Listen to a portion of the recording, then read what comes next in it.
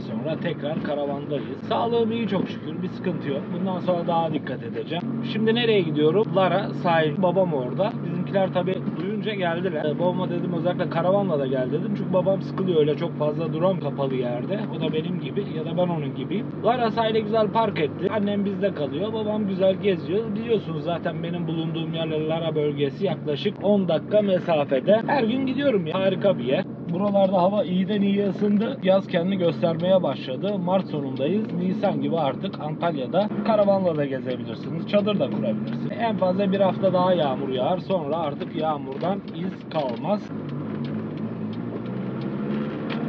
İnsan otomatikman güzel havaları görünce tabii kendini dışarı atmak istiyor. O kokuyu almaya başladım yaz kokusunu. Normalde camları açardım sesim net gelsin diye açmıyorum.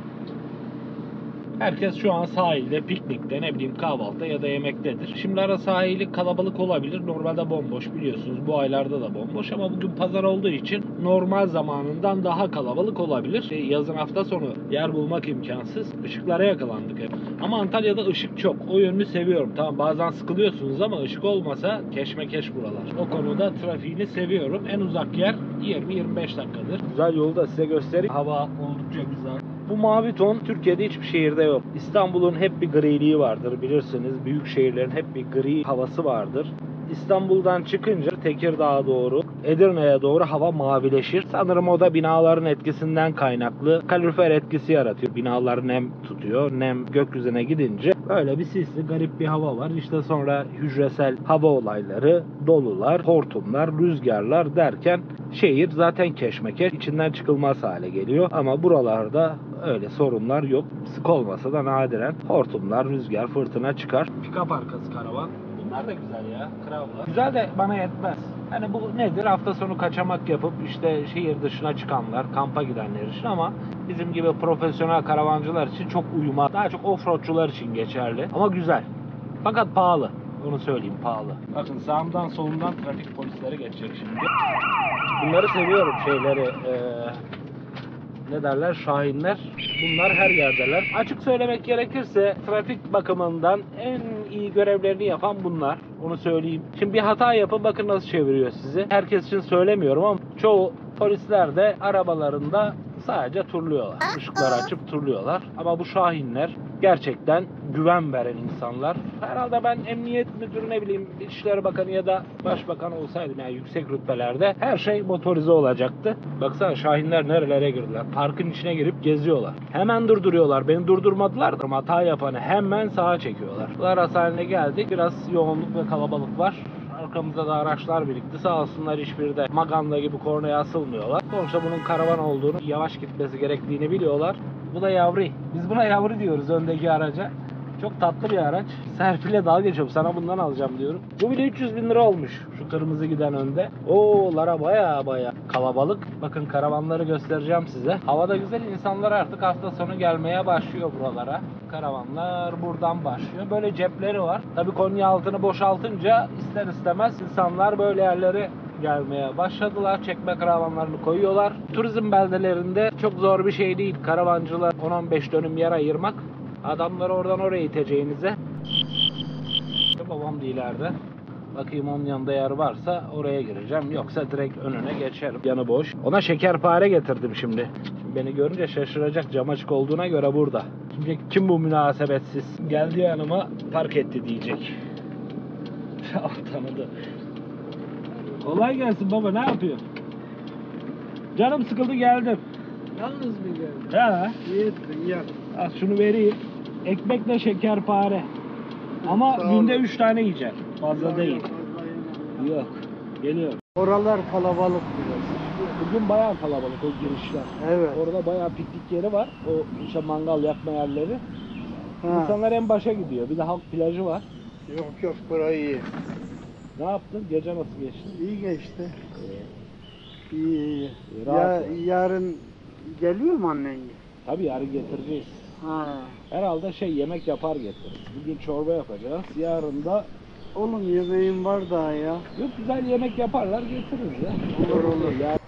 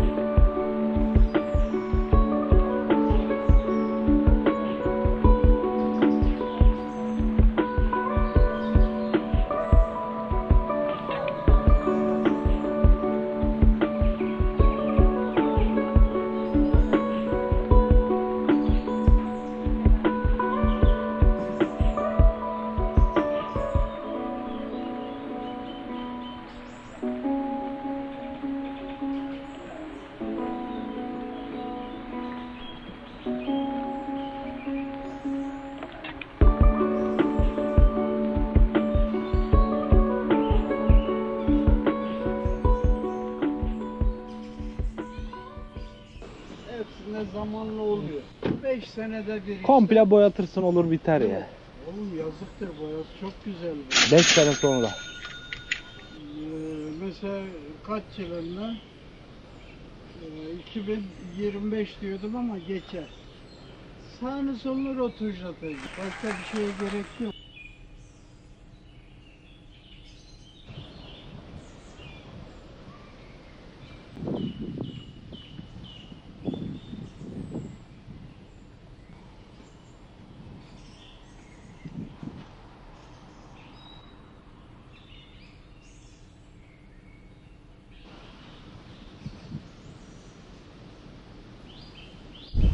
Ve işte harika bir manzara.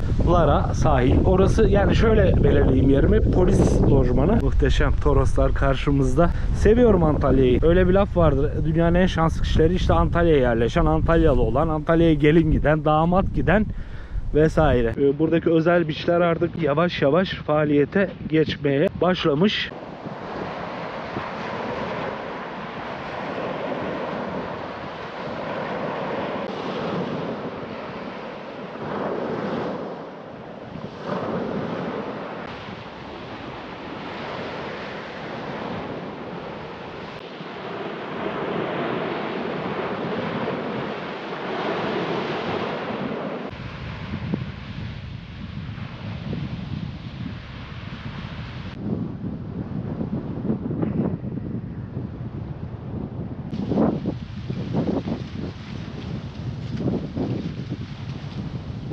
Harika ya. Yaşamak gibisi var mı? Yalnız şu konuda uyarayım. Hayatımda gördüğüm en büyük deniz anaları var şu an burada. Ben de şok oldum. Ve bayağı büyük. Yani bunu elinize aldığınızda bakın şu ve şu. iki tane orada var. Kendilerini geri çekiyorlar ama. Çok var. Bakın açıklarda var. Belki benim gözümün gördüğü 10-15 tane var. Ve dev gibi. Keşke ayakkabım olmasaydı da biraz yaklaşsaydım. Büyük, beyaz. Şuralar, şu, şu. 1, 2, 3, 4. Demek sezonu. Normalde Akdeniz'de bu kadar deniz anası olmazdı.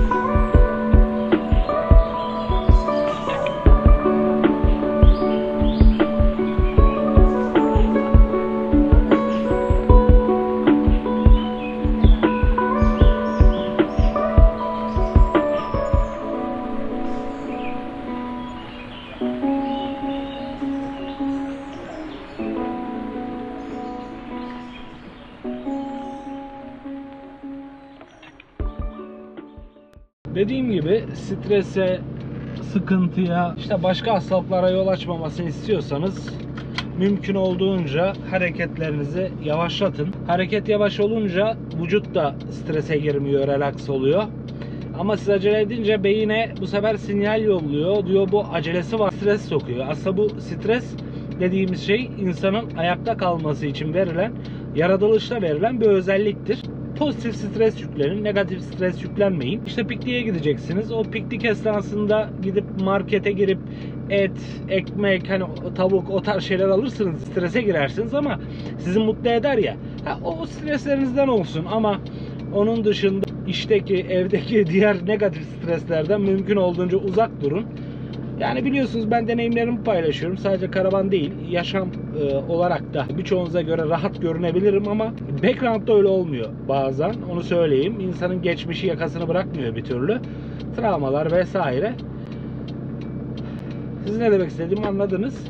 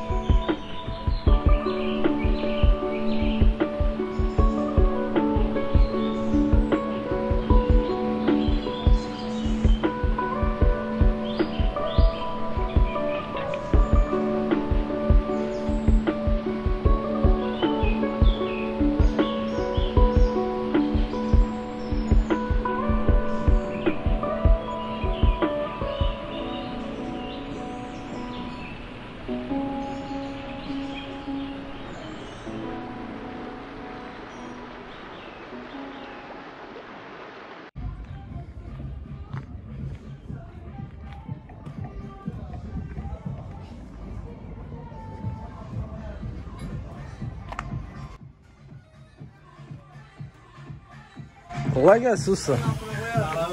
Ne var ne yok? Böyle yaparız, böyle yaparız. Ne var? Hoş. Hızlı başladınız ya. Birader sağ olsun. Hepsi kaza yaptı bunun yolunda. Arabayı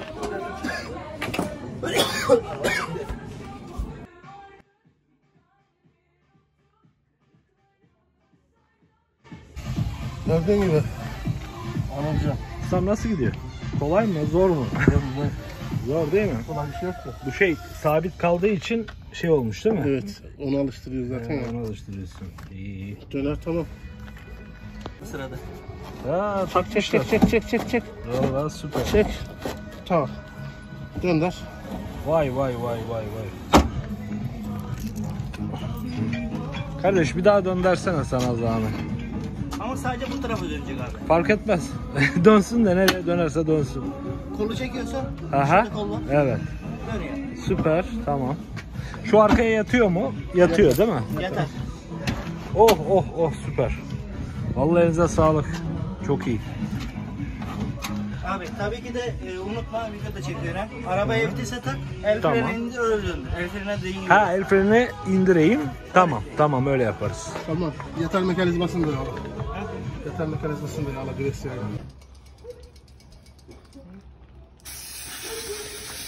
Arkadaşlar bu kapı düşmüştü. Yani kapı düşmüş derken bu kapı hani illa e, bilek gücü isteyerek kapanıyordu. Belki videolardan hatırlarsınız. Hiçbir usta yapamadı kaporta ustası. Şimdi Fehmi Usta bundan uğraşıyor. Büyük ihtimalle yapacak. O yüzden de sen ses çıkarma. Şu yeni hidroforumuz. Hidroforu yeniliyorum. Bunlar kapıların amortisörleri. Şey pardon dolap amortisörleri. Bunlar menteşeler. Şu da biliyorsunuz labom bazı sebeplerden dolayı pis olmuştu. Bu lavaboyu da yeni getirdik. Koltuğumuz çok güzel dönüyor ve baktığınız zaman ciddi bir yer açılmış. Koltuk da ikili onun mekanizması da geldi şimdi. Bir sorun kalmadı gibi. Buraya 40'a 60 cam gelecek. Bakın şöyle güzel Buraya hatırlı bilen bilir kesildi. Aküler buradaydı. Bunlar komple alınacak. Buraya da mineflo yapılacak. Bu aküler şuraya gelecek. Akünün üstüne de dolap. E tabi yaptıkça fikirler değişiyor ayrı bir şey. Eşyaları bu şekilde koydum.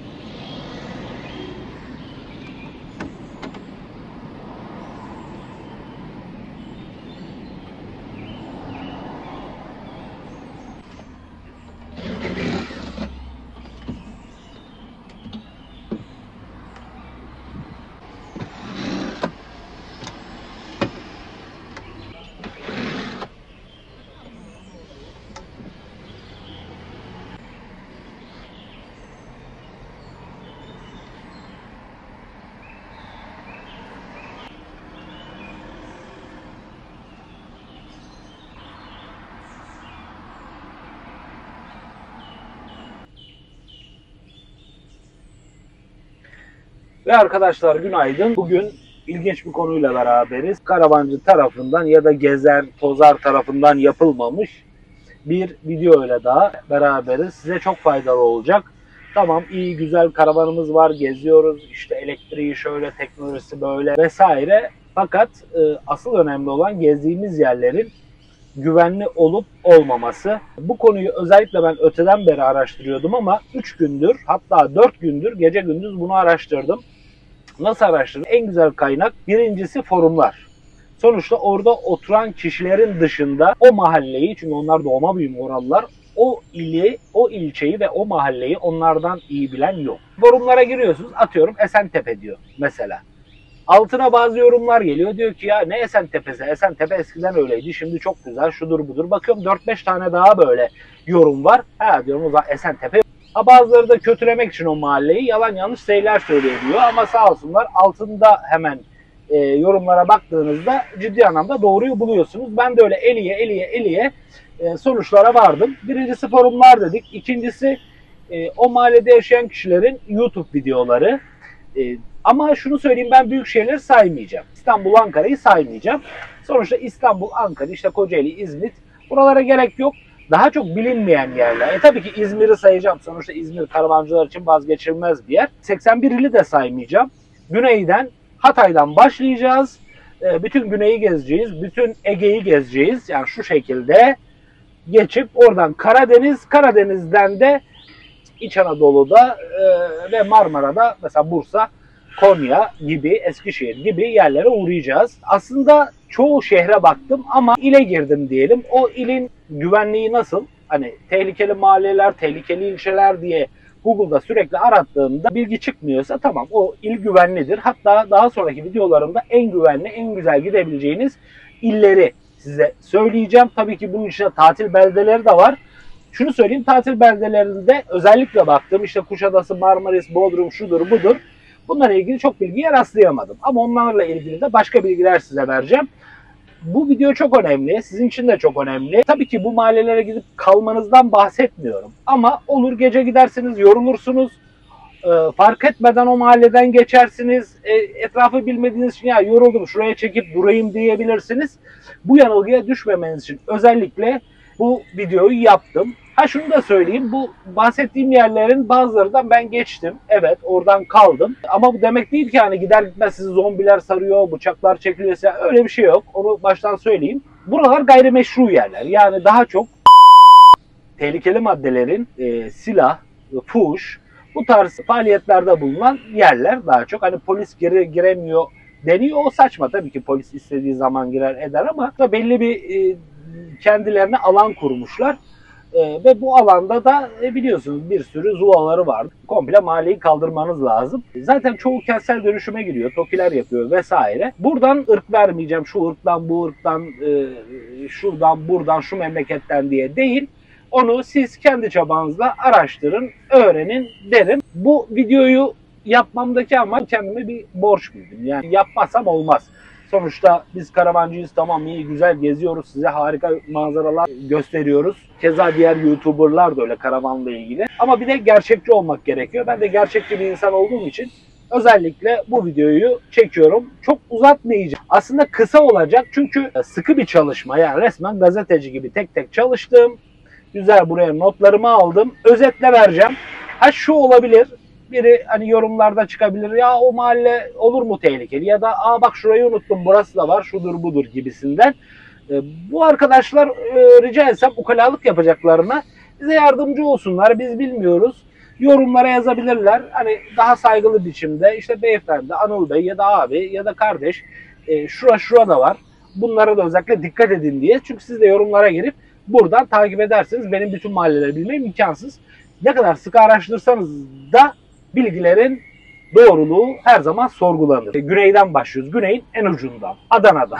Adana deyince herkes de diye Adana zaten başı başı ama değil. Yani şimdi Adana'ya gittiğiniz zaman herkes sizi sevecen karşılar. Yani şu mahallelerin de şöyle bir özelliği var. Gittiğinizde kimseye kemküm yapmazsanız hani yardım isterseniz sizi inanın çok da güzel yardım ederler. O mahalleden çıkar, çıkmanızı sağlarlar ya da girmeden uyarırlar. Hele karavancıysanız çok büyük sıkıntı olacağını zannetmiyorum. Onu da baştan söyleyeyim. Ee, Adana Yüreğir ilçesine bağlı Kiremithane Mahallesi. Bak Kiremithane e, sıkıntılıymış. E, özellikle o sıkıntılı yerleri bastıra bastıra söyleyeceğim. Seyhan ilçesi, Dağlıoğlu Mahallesi, Denizli Mahallesi, 19 Mayıs Mahallesi, Hürriyet, Şakirpaşa, Anadolu Barbaros, Yeşilyurt, Meydan Mahallesi. Bu kadar kısa geçiyorum. Artık siz rotanızı ona göre ayarlayın. Geldik yine güneyde bir büyük ilimize Mersin.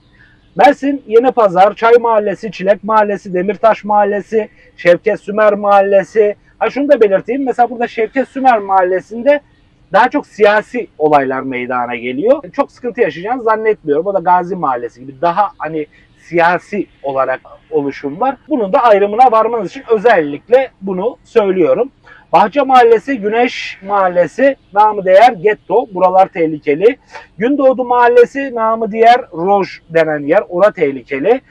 E, Siteler Mahallesi, Kurdalı, namı diğer, aslında namı değer değil, namı diğer. Kürtali, Şahin Tepesi, Güneykent, Akbelen, Mersin, Tozkoparan bunlar Akdeniz, Toros ve Yenişehir'de bulunan, ilçelerinde bulunan mahalleler. Geldik Antalya'ya. Antalya'da şöyle bir sıkıntı var. Şimdi Kepez deniyor. Kepez denince Kepez'e girilmez arkadaşlar. Kepez ciddi anlamda gelişti. Kozmopolitik bir yer haline geldi. Toplu konutlar oluştu. Ee, hani Kepez'de bir sıkıntı yok. Hatta e, Antalya'nın en e, belalı mahallesi Zeytinköy. Yani Zeytinköy cidden belalıdır.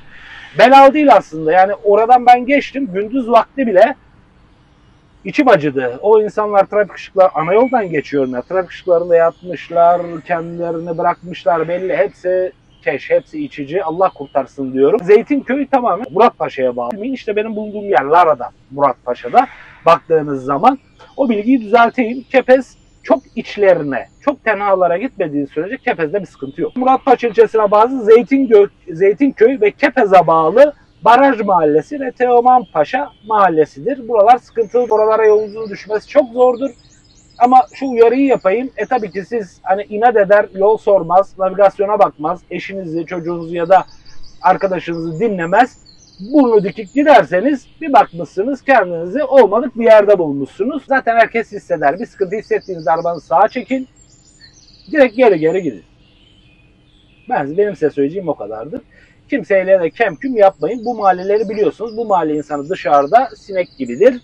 Yani hiçbir şekilde e, bir e, forsu bir e, şey yoktur ama o mahalle içinde niyeyse hepsi birden aslan kesiliyor. Birbirlerini galyana getiriyorlar. Küçük çocuklar bile. Hatay. Hatay'a gelelim. Hatay'da sıkıntılı. Gerçi Hatay'ı söylerken içim acıyor. Çünkü bu mahallelerin çoğu kalmadı. Bu mahallelerin çoğu çöktü. Hatay'da Samandağ, Sutaşı, Reyhanlı, Esentepe, Şirince, Dağ Mahallesi, bunlar sıkıntılı mahalleler. Zaten Hatay'a gitmenizi de çok tavsiye etmem. Buradan Hataylılar bana kızmasın. Orada bir deprem tehlikesi var. Orada bir mülteci tehlikesi var. Neyin ne olduğu belli değil. Hatay dedik, Antalya dedik, Mersin dedik, Adana dedik. Aydın. Aydın çok ilginç. Aydın'dan hiç beklemezdim böyle bir şey. Ama Aydın'da iki yer var. Telsiz Tepe ve Tellidede Mahallesi. Aydınlar burayı iyi bilir. Çoğu da beni tebrik edecektir. Çünkü nokta atışı yapmaya çalışıyorum. Denizli var. Denizli'de de şaşırdım. Denizli'de Kocabaş Mahallesi ve Karşıyaka Mahallesi'ni e, özellikle dikkat edin. Muğla mesela Muğla'da beklemiyordum. Muğla'da bir yer çıktı. Düğrek Mahallesi. Düğrek Mahallesi ciddi anlamda tehlikeli bir madde. Şey tehlikeli bir mahalle. Turistik bölgelerde yer bulamadım. Özellikle onlara baktım. Ama Fethiye'de şunu söyleyeyim. Bir tane başkan varmış. Dikkat edin tatilcileri dövüyormuş. Böyle tatilciler yanından arabayla geçince işte eskortlarıyla beraber inip o tatilciyi dövüyormuş. O başkana dikkat edin özellikle. Hatta şimdi de aday gösterilmiş. Neyse. Kelebekler Vadisi'ne dikkat edin. Niye Kelebekler Vadisi? Eğer eşinize, dostunuza, akrabanıza güvenmiyorsanız Kelebekler Vadisi'ne gitmeyin, selfie çekmeyin. Çünkü her an ayağınız kayıp e, düşebilirsiniz. Ona dikkat edin. Ne demek istediğimi anladınız. İzmir'e geldik. İzmir'de çok yer var. Cidden çok yer var. İzmir'i saymak zorundayım. İzmir ciddi anlamda karavancıların uğrak yeri. İzmir Kadife Kale. Kadife Kale artık biraz daha yumuşamaya başladı. İzmir Kadife Kale Bornova Sokağı. Bakın Bornova Sokağı'na dikkat edin. Bornova Sokağı tehlikeli bir sokak. Genelde fuhuş, travesti ve diğer e, satıldığı bir yer. Bu dediklerim gündüz çok sıkıntı olmaz ama gece ciddi sıkıntı olur. Bütün saydıklarım aklıma geldikçe söylüyorum. Bornova Sokağı çünkü ben sadece hani Google'dan a bu varmış deyip demiyorum. O Bornova Sokağı'ndaki yorumlara da bakıyorum. Beni buradan bilen bilir çünkü nokta atış yapmaya çalışıyorum. Hatta bu benim bilgilerimi e, bütün gazeteler, televizyonlar e, ne derler esas teşkil ederek kullanabilir. Bornova Sokağı dedik, Kadife Kale, Bornova Sokağı, Tepecik, Ballıkuyu, Tenekeli, Tenekeli Tehlikeli, Çimentepe, Basmane'nin iç sokaklarına dikkat edin. Gürçeşme, Limontepe, Limontepe de biraz sıkıntı ve Çay Mahallesi. Özellikle burada not da almışım zaten Kuruçay ve Tenekeli'ye dikkat edin derim. Geldik Manisa'ya. Manisa tamam hani e, tatil geçiş alanlarından biri. Nurlupınar, Yeni Mahalle, Barbaros ve Kuşlubahçe mahalleleri. Balıkesir'e geldik. Balıkesir yine şaşırttı beni. Gazi Osman Paşa Mahallesi, Gündoğan Mahallesi, Edremit, İbrahimce Mahallesi, Bandırma Çınarlı Mahallesi, Gümüşçeşme Mahallesi ve Dinlikçi Mahallesi'nde saat 14 ve 18 arası elektrik kesintisine uğrayacaktı. Böyle bir anons vardır ya. Balıkesir'de geçtik. Bursa Yavuz Selim. Bursa'da da ciddi ciddi sıkıntılı yerler var. Yani tabii dediğim gibi şimdi diyeceksiniz e ne kaldı ama değil. Mesela Bursa'da belki 200-300 tane mahalle var. Benim saydığım 5-6 tane anlamışsınızdır.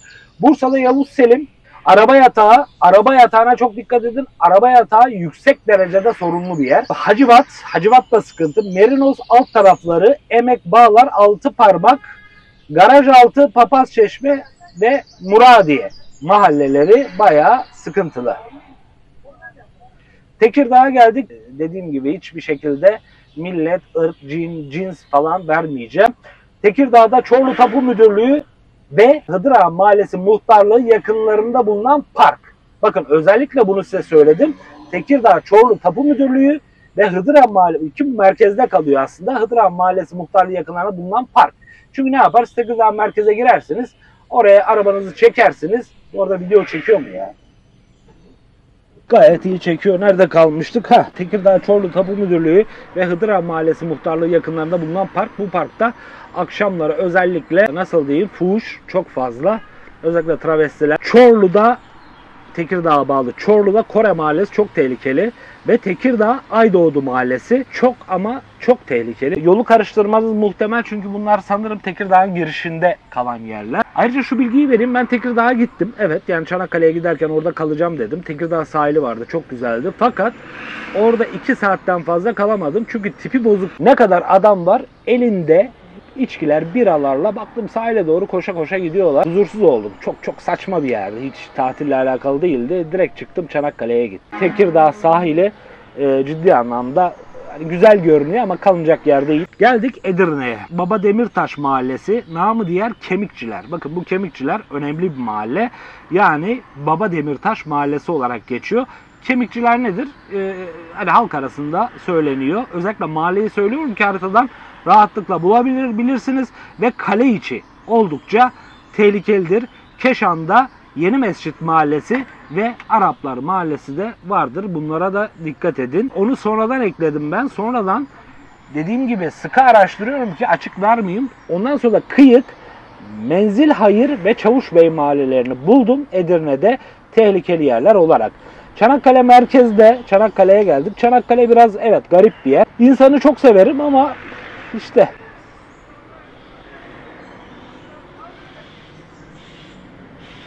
Çocuklar otobüsü kaçırdı arkadan bağırıyor. Ya insan durur ya yazık değil mi yani çocukları yürütüyorsun burada 2 saatte bir geçiyor. Neyse Çanakkale Merkez Fevzi Paşa Mahallesi, Çan, Fatih Mahallesi, namı diğer Taşlı Tarla. Çanakkale'de buna.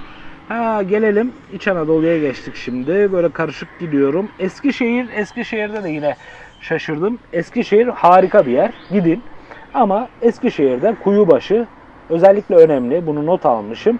Türkiye'de tehlikeli mahalleler sıralamasında 17. sırada. Türkiye'nin en tehlikeli 20 mahallesi seçildi. Bunu e, devlet ya da işte gazeteciler tarafından yapılan bir e, anket ya da e, gözleme göre ya da Emniyet Müdürlüğü'nün ya da İçişleri Bakanı'nın kayıtlarına göre yapıldı. Özellikle onları söylüyorum Eskişehir'de bu 17. sırada. Dikkat edin yani dünya sıralamasında. Yani şunu söyleyeyim. Evet biz tehlikeli maddeleri sayıyoruz ama en elit yerde bile başınıza büyük sıkıntı gelebilir. Bunu bilin.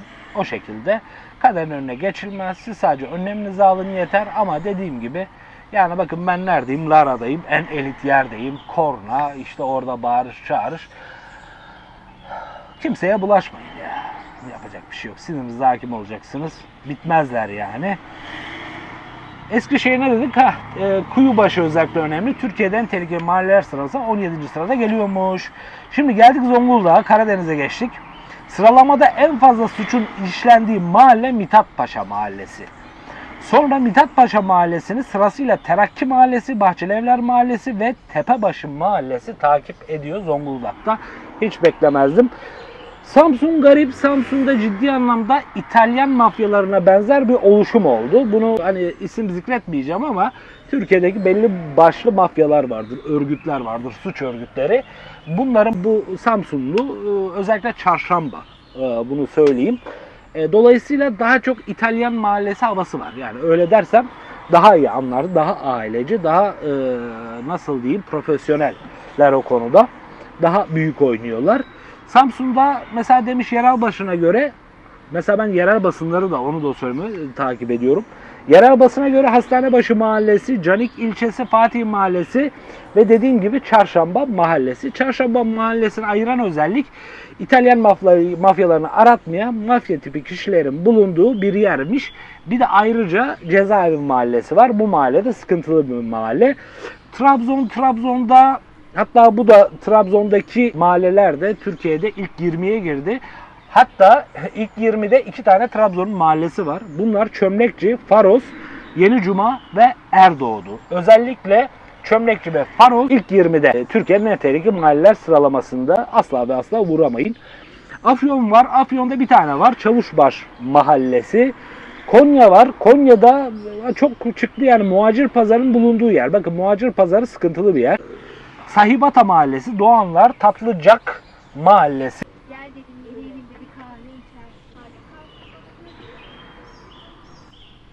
Abla dedikodu yapa yapa gitti. Şimdi buradan izlerlerse sıkıntı. Şimdi geldik Kayseri'ye. Şimdi Kayseri'de bir haber dikkatimi çekti. Kayseri'de 11 tane tehlikeli şehir var. Şey, e, mahalle var.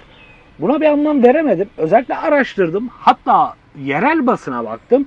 Mesela Kayseri Anadolu haber kaynağına göre. Bakın sıraladım tamamen. Garip bir şekilde Battal Gazi Mahallesi ama bu Battal Gazi Mahallesi hiçbir yerde yazmaz ama Battal Altı derler. Bakın Battal Gazi Mahallesi olarak geçer ama halk arasında Battal Altı diye geçer. Cennet Mahallesi, Argıncık Mahallesi, Mahrumlar Mahallesi, Gazi Osman Mahallesi, Baruthane Mahallesi, Yavuzlar Mahallesi, Kayabaşı Mahallesi, Fevzi Çakmak Mahallesi, Yıldırım Beyaz Mahallesi, bir de Eskişehir Bağları diye bir yer var. Ee, buralar bayağı sıkıntılı mahallelermiş. Yani yerel basın Kayseri Anadolu Haber Ajansı yani bir de direkt yerel gazetesi bu haberi geçmiş. E ne yapayım bize de yayınlamak düşer gibi gibi. Ya ne oldu baba ya? Bir rahat vermediniz ver. Biraz o tarafa çekiyorum Dur, masayı. dur, çek, dur, çek, dur. çek, çek, çek, çek, çek. Ben de gelirim yarım saate biter. Biz dolaşacağız ya. Üzerinizi sıkı giymişsiniz. Çuğa verseydin güneş var ya en yükseğe ver. Onda çalışsın. Bozulmaz. En yükseği kaç olmuş? Ya işte maksimum. Anıl donduruyor donduruyor. İyi tamam. Dörtte. Tamam. Hadi görüşürüz. Tatil beldelerinde e, çok şey bulamadım. Sadece şu konuda uyarayım. Bodrum'da ciddi bir tehlike var. Bodrum'un neresinde bir tehlike var? Bu tıfıl zengin çocukları vardır. E, 13-14 yaşlarında. Bunlar jet skilerle ve botlarla ciddi anlamda tehlike saçarlar. Denize girdiğiniz zaman mutlaka Bodrum'da ve diğer yerlerde e, Dubai'yle ayrılmış yerlerden ayrılmayın. Sakın ha sakın. Ciddi anlamda kazaya uğrayabilirsiniz. Sonra sonunuz şey gibi olmasın hani bu adamları öldürmüş ya sonra gitmiş Amerika'ya anasıyla falan. Dikkat edin derim. Başka bir şey var. Ee, Akdeniz bölgesine dikkat edeceğiniz bir şey var. Bakın ciddi araştırmalar yaptım. Nedir bu? Türkiye'nin en zehirli örümceği Akdeniz bölgesinde. Adı da neymiş? Lakos celes rufascen. Akdeniz bölgesine özgü bir türmüş. Ticaret yoluyla dünya çapında birçok ülkeye yayılmış. Bunun da görüntüsü ben bunu bizim Alanya'daki evin duvarında gördüm. Sadece bacak gövdesi. Bu kadar sadece bacak. Tabi anladım çünkü yaklaştıkça o hiç tepki vermiyor. Ciddi e, zehirli tabi asla öldürmem. Varsın yoluna gitsin dedim. Ben de oradan çıktım vesaire. Ee, Ayvalık'ta başka bir tehlike var. Ayvalık'taki en büyük tehlike dünyanın en zehirli örümceği Ayvalık'taymış. Buna da dikkat edin. Balıkesir'in Ayvalık ilçesinde dünyanın en zehirli örümceği türleri arasında gösterilen ve kendi eşleri yemeleriyle de tanınan Argiope lobata örümceği görülmüş. Bunun da şeklini göstereceğim. Olur da ormana şuraya buraya girersiniz. Dikkat edin. Çok örümceklere vesaire yanaşmayın, elinize almayın. Mesela Trabzon'da başka bir tehlike var. Bu da Türkiye'nin en çok heyelan ve toprak kayması yaşanan yeri Trabzon'dur. Trabzon'a gittiğiniz zaman kıyılarda durmayın. Fazla yaylalarda, kenarlarda durmayın. Falezlerde durmayın. Tepelerde durmayın. Zaten açık söylüyorum. Yani karavanla Trabzon'a gidersem ben sahil yolundan takip edip Heh, bir tane ilgimi çekti. Mesela Ankara'yı vermeyecektim. Ankara'yı bilirsiniz. Hani Çinçini minçini şudur budur meşhurdur. Zaten onları bilen bilir. Hani onları ayrıca burada söyleyip de vaktinizi de almak istemiyorum ama Ankara'da şöyle bir şey var. Mesela biz yoruluyoruz yol üzerinde ya duralım diyoruz duruyoruz. Şimdi Ankara'nın her yerinde ciddi anlamda köpek sürüleri var mı? Bir turistle parçalamışlar. Bunu bir yorumcu söylemiş, asker bir yorumcu. Organize sanayi bölgelerine işiniz düşerse arabasız gitmeyin. Arabayı da o yerin kapısı önüne park edin. Yürümeyin. Köpekleri zincirlemiyorlar ama beslemeyi biliyorlar. Her sokak başında nöbet tutan it demiş de ben onlara hayvan, köpek görürseniz yanınızda biber gazı olsun vesaire. Ulusu gündüz gezin demiş. E, hava kararınca terk edin. Ulusun aşağı taraflarına gazinoların önünden geçmeyin. Hele kız arkadaşınızla hiç geçmeyin. Bent Deresi'ne, Önder Mahallesi, Sincan, Mamak gibi yerlerine de gitmeyin. Gece kondulu yerlerden uzak durmak en iyisi bu tüm Türkiye için geçerli. Bela gelecekse çok güzel demiş. En nezih yerde de gelir. Dikmen'de Gülşen sahne aldığı yerde istediği parçalanmadı diye mesela en iyi yerde. Hadi demiş affedersin öküzün biri ateş etmiş gibi gibi aklınızda olsun. Biliyorsunuz bozayı sorunu var. Aslında sorun değil. Yani onların yaşam alanı da insanlar için sorun olabiliyor. Sadece dikkat edin Karadeniz bölgesi, Toroslar, İç Ege Dağları ve Doğu Anadolu bölgesinde yaklaşık 3000 ila 5000 arasında büyük ben e, foto kapanlardan gördüm. Bozayı olduğu düşünülüyor.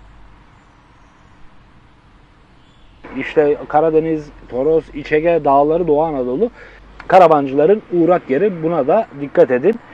Eğer bir yerde e, büyük devrilmiş e, çöp tenekeleri görürseniz yerlere saçılmış. Anlayın ki orada bozayı ya da domuz var. Domuz demişken geldik. Domuz Türkiye'nin her yerinde evet özellikle Didim'de e, ve Bodrum'da yani sahil, Ege sahil kasabalarında birçok sayıda domuz var. Sokak köpeği gibi geceleri dolaşırlar, çıkarlar, ailece dolaşırlar. Çok ürkek, çok naif hayvanlardır. Onu size söyleyeyim. Kolay kolay saldırmazlar.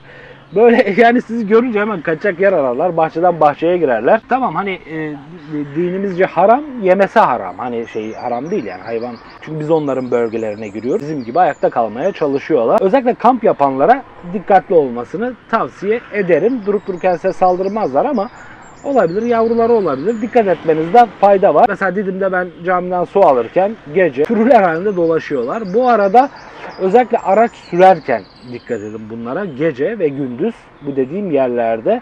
Mesela orada domuz çıkabilir tabelaları, inek çıkabilir, köpek çıkabilir. Bunlara dikkat edin. Onları boşu boşuna koymamışlardır. Videomuz burada bitiyor. Telefonumun şarjı da bitmek üzere. Ee, Umarım memnun kalmışsınızdır. Emeğin boşa gitmesin diye paylaşırsanız, abone olursanız, beğenirseniz ya da işte nacizane yorum yaparsanız çok teşekkür ederim. Ne kadar çok kişiye ulaşırsak o kadar iyidir. Gördüğünüz gibi karavanımı tadilata verdim. Şimdilik babam karavanı ile idare ediyorum. Sağ olsun kendisi geliyor burada kaldı. Hani benim sağlık sorunlarım olduğu için. Ha onu da söyleyeyim arkadaşlar gayet iyiyim. Hiçbir sorun yok. Gördüğünüz gibi e, eskiye döndük tekrar. Hani acitasyon yapmaya da gerek yok. Abartmayacağım da geldi geçti gitti. E, tamamen benim suçum. E sigara içiyorsun. Sağlıklı be. E tabii ki yani ne bekliyordum ki? Öyle diyeyim. Görüşmek üzere.